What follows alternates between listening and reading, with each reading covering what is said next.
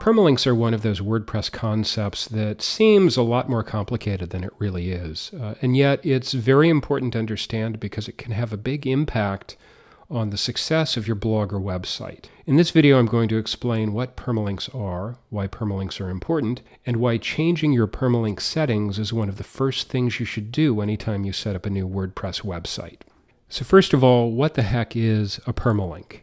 Uh, quite simply, it's a URL that can be used as a permanent link to any post or page on your website.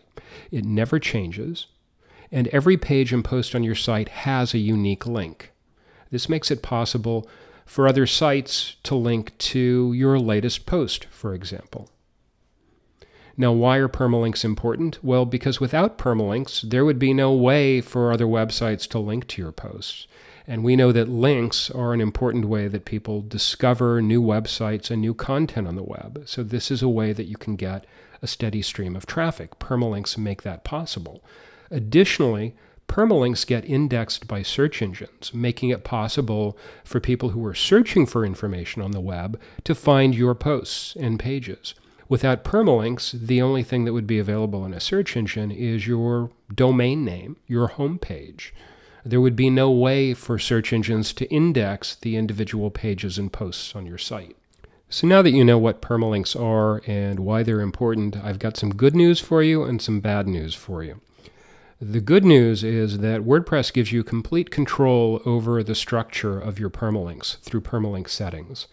The bad news is that WordPress's default settings, the settings you get when you first install WordPress, are very, very bad, and there's something you want to change right away. Why are they bad? They're bad because they're difficult to read, they're difficult to remember, they're difficult to type, they're difficult to speak. It means that fewer people will be linking to you. It means that search engines may have trouble indexing your website. They're just all kinds of bad. I'm going to show you how bad they are, and then I'm going to show you how to fix it right now. So here's a post on my test site, and I'm using the default permalinks. I haven't made any changes yet.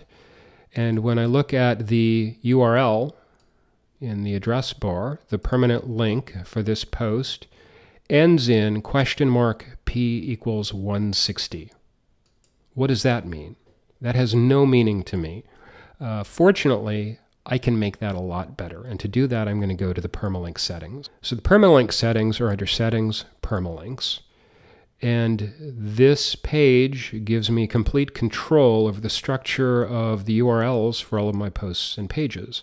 And there are a number of predefined permalink settings. Besides the default setting, there uh, are several that use the date in addition to the name of the post. Uh, and any one of these is going to be a better option than the default permalink setting. So if you do nothing else, setting one of these other options is going to produce better results. Uh, probably the cleanest would be to use the post name. Uh, and the post name in this case is the slug for the post in the page. And as you know from creating posts or watching the creating a post video, the post slug is taken from the post title by default. So if I go with the post name option, I'll get a shorter URL that has the uh, post title as part of the URL. Let me save this and show you what that looks like. So now when I reload this page, you can see the URL is much shorter, uh, and there are no question marks or, or random letters that look like some kind of weird algebra equation. Uh, so this is a good URL. Now there's a slight uh, improvement on this one, uh, depending on who you talk to there's some thought that adding the category to the URL in addition to the post name might make for better search engine placement.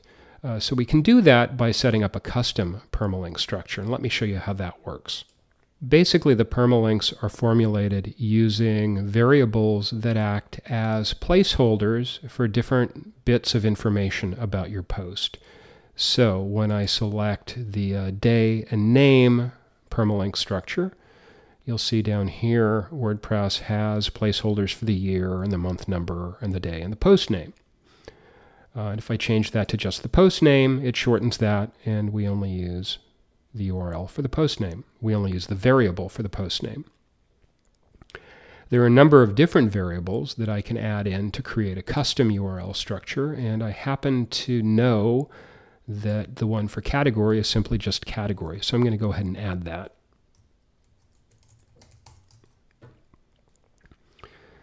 So by adding a category before post name, I'm going to save this.